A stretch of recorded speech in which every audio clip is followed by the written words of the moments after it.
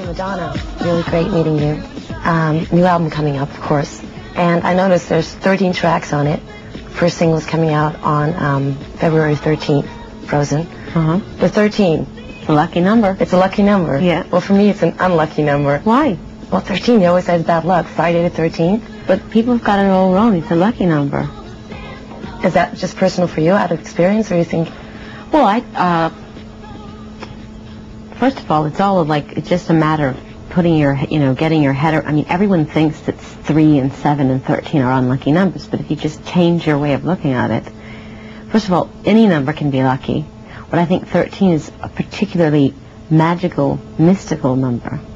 And, um, for instance, why do boys get bar mitzvahed when they're 13? Yeah. There's a lot of sort of, um, um, the kind of uh, philosophical or mystical thinking on that is that that's the age that a child's soul comes into their body.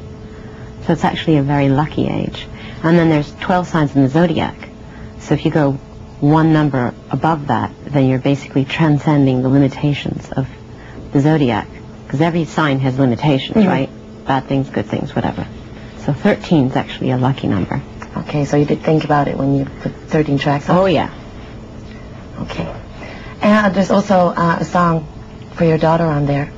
Um, I'm not a mother, so I don't know, but it seems very hard to write a song for your daughter because you know when she grows up, she'll hear about it, she'll hear it. Like, I want her to hear it.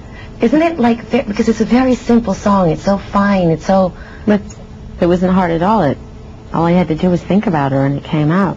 but isn't it like when you think about your daughter, all these thoughts come up? Like, how do you put it in one song? I think it's incredible when I heard it. It's so basic. Yeah. I don't know. I just was true to my feelings. I just let it, the feelings flow out of me and that's what happened. I think I really noticed that on whole of the album, that your feelings are in there. I think it's also in the other albums. Mhm. But um, maybe this is wrong to say, but it seems like you're in ease with yourself. Is that true? I'm definitely becoming um, more comfortable with me, being me with who I am, definitely. Shedding the layers, getting closer to what I think is the real me, for sure. Greta Garbo and Monroe, Dietrich and DiMaggio, Marlon Brando, Jimmy Dean, on the cover of a magazine. Grace Kelly, Harlow Jean, picture of a beauty queen. Gene Kelly, Fred Astaire, Ginger Rogers, dance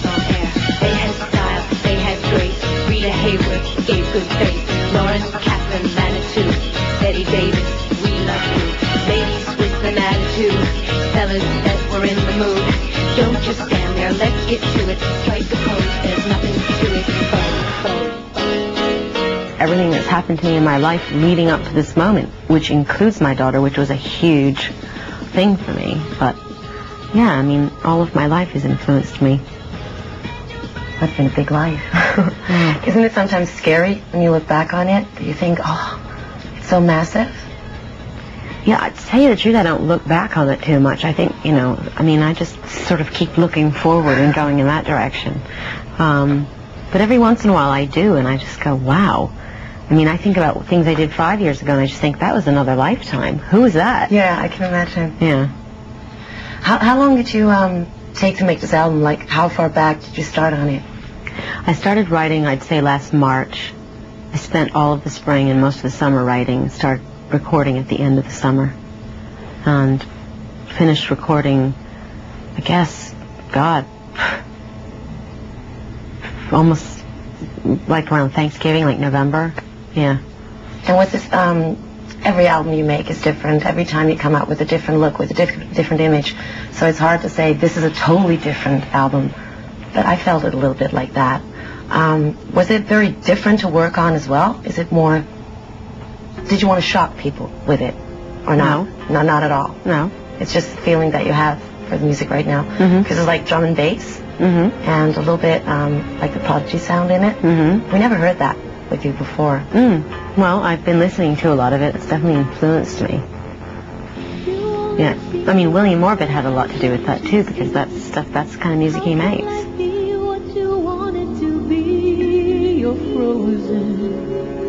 When your heart's not open. You're so consumed with how much you get. You waste your time with hate and regret. You're broken when your heart's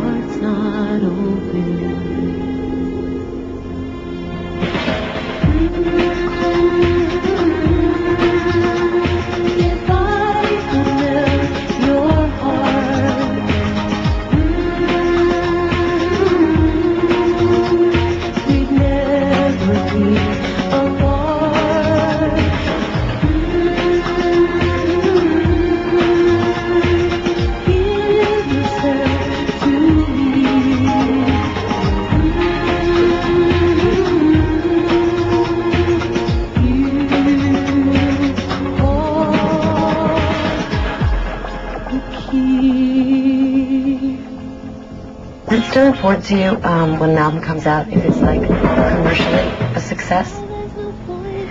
Does that really Well, matter? It matters. I mean, obviously, it, I want people to hear my record. If only two people buy it, that means that Yeah. you know not many people are hearing it. But I mean, uh, I can I can tell you that while I'm writing it, I'm not like sitting there going, "Oh my God, I hope I sell 12 million albums." I mean, that doesn't really, you know, help with the creative process. Um, I mean, first it's all about being creative and being true, and then later on you start thinking about whether people are going to like it or not.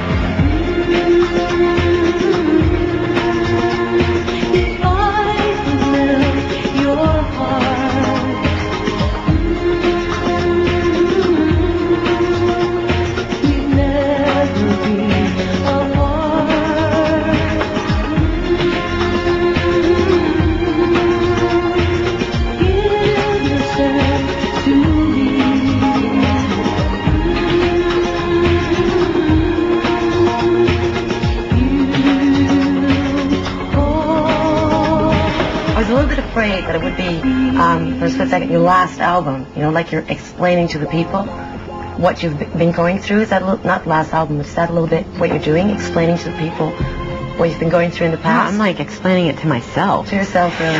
Totally. yeah. Yeah, I'm like thinking out loud. Thinking out loud. Studying the Kabbalah, which is the, um, the mystical interpretation of the Torah, the Old Testament. But, uh, I mean, I haven't converted to Judaism or anything. No, but it's hard for me to say in English as well, too. You never switch to religion, I hope. But um, it's a different view on life for you. Yeah, but I mean, I've been practicing yoga and studying Buddhism and Hinduism and, you know, Ayurvedic healing and, I mean, so lots of things that influence me and I'm interested in all religions. But I haven't, like, joined a new religion. Take a number and go, okay. exactly. I like, I want this God. That should be nice. Um, is that very, um, is that more easy? Because I can imagine when you just started out, like, boom, there's Madonna, everything comes over. Um, you did a lot of controversial things. Now you say, I'm a little bit more at ease. Can I say that you're um, going back to being a normal person? Like, you were a normal person before, but like, um, how do you say that? Not being the superstar anymore, just a person for yourself, like from inside. Um, I don't know. I mean, uh,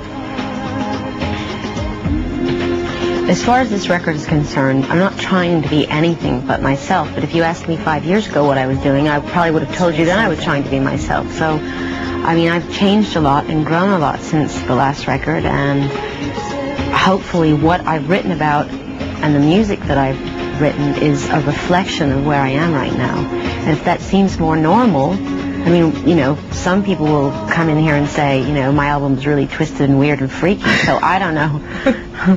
I guess it depends on, you know, who who you are and what you like. Yeah. And are you going to go on tour? Um, probably, yeah. Probably. hmm The whole way? The whole way. What's like the whole Europe way? as well, or just an American tour? You don't. No, no, no. I'll do. I'll go to Europe too. Definitely. Because that must be very. I'm doing a very small tour in Ireland, Cuba, and India. That's possible. You just said I'm going to do an American tour or something. Nah. Going to do the whole bunch with it. Well, not the whole world, but I'll definitely travel around. You um, also made movies. Are you going to do other movies again, or?